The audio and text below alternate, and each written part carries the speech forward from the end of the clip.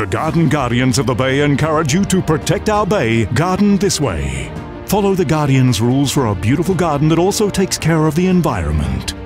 You can find more resources and tips on the GeoCatch website. Protect our bay and garden responsibly.